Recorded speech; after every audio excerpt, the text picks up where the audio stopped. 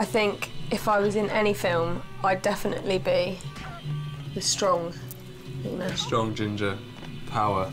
Ninja. Ninja.